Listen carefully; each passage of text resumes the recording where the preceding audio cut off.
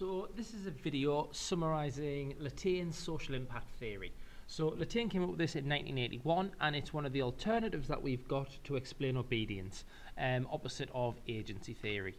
So through your daily experiences, um, a lot of different kind of factors or experience influence your behaviour or how you act in a situation um, involved with other people.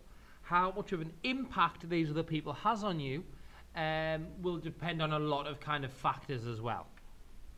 So Latane in particularly wanted to explain um, social influence um, as an effect of these social forces. He wanted to look at different social forces and use them to explain why people behaved in a certain way.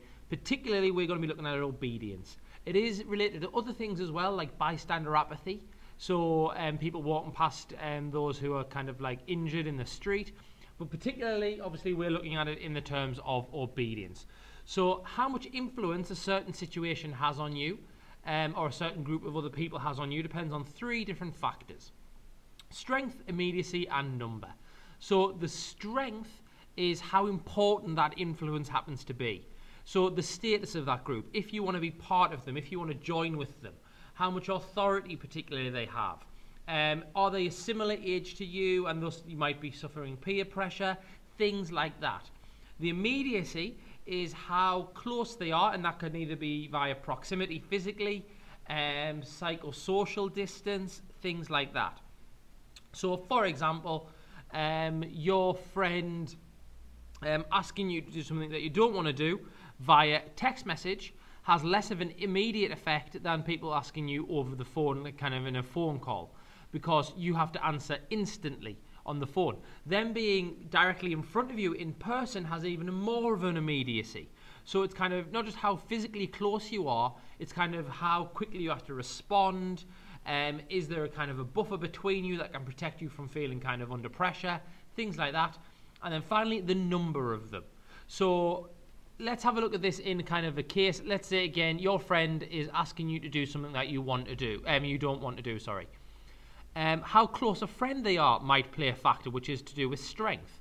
If they are your very best friend, it might have more of an impact because you really don't want to let them down. If it's just somebody else from the college um, who you'd know, then you might feel fine kind of fobbing them off and not doing what they want. Immediacy, again, is that whole text message thing versus in person. And number. Is this one friend asking you, or is it like eight of your friends? The more people there are, the more kind of under pressure you will be. Um, there is a kind of caveat to that, and we'll come on to that in two seconds. So this is kind of exactly the same thing, maybe explained in a bit more detail. So the more people who are present, the more of an effect it has on you. However, and this is that caveat, there is a thing called the psychosocial law. Um, social influence increases with growing number. So if two friends are asking you to do something, that has much more of an impact than one friend. But it does so at a decreasing rate. The increase from five to six friends will have less of an impact on you than the increase of one to two.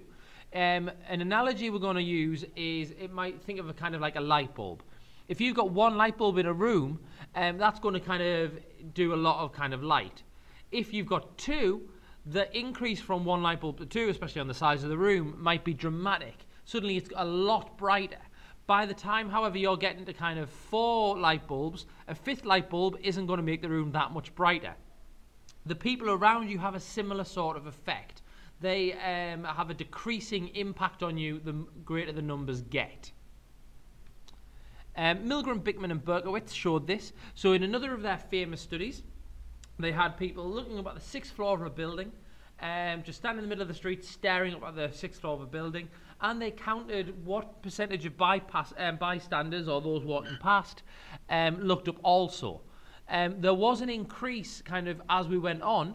So when there was one Confederate, 42% looked up. By the time we got to 15, however, those it had only went up to 86%. Each kind of new person had less of an impact on you. Um, strength, again, same thing as I've just said. Two studies I quickly show this. Perrin and Spence in 1980 um, and Mullen in 1990. Um, jaywalking reduced when high status non jaywalkers were nearby. So somebody that you really wanted to be like, so in this case they've used probation officers versus those who are trying to um, get probation. Um, they want to look good in front of the probation officers. In Mullen, it's the same thing. Somebody that you look up to or want to be like um, is seen crossing the street and in a certain way, and it changes your behaviour. Their strength impacts on you. Um, immediacy, Crutchfield is an example. Um, in kind of an extension link, I'll try and put a um, link below in the blurb, um, or you'll have one in your extension books from class. Um, the Crutchfield experiment looks at this exactly. So we are influenced by other people, but when Crutchfield put people, um, kind of separate them out so you couldn't see anyone else, you separate them into booths, suddenly that um, immediacy is reduced and we saw kind of the conformity reduce as well. If you can't see what everyone else is doing and people can't see what you're doing, then you're less likely to kind of follow what they're up to. Um, social impact theory by Latane puts this into a mathematical formula. This is something that they we can argue whether it's strengths and weaknesses, things like that. Um, here's a quote from him. But basically, we can figure out how strong the impact is uh, because it's a function of the strength times the immediacy times the number through looking at this kind of formula, we will get a numerical number for what sort of impact people have on you. Um, and that's the multiplicational effect. Um, the greater the strength, the greater the immediacy, the greater the number, the more of effect it'll have on you. Um, it also works the other way around, however, with a divisional effect. Um, the ability of a speaker to persuade audience members is divided by the number of audience members there are. If your teacher's having a one to one conversation with you, they will be much more influential on you and be able to get much more of kind of an impact, much more of an effect on you than if you were um, in a classroom full of people. That's a divisional effect. 30 people, one person has less effect on them than one on one. And this is what we get by, with bystander effect.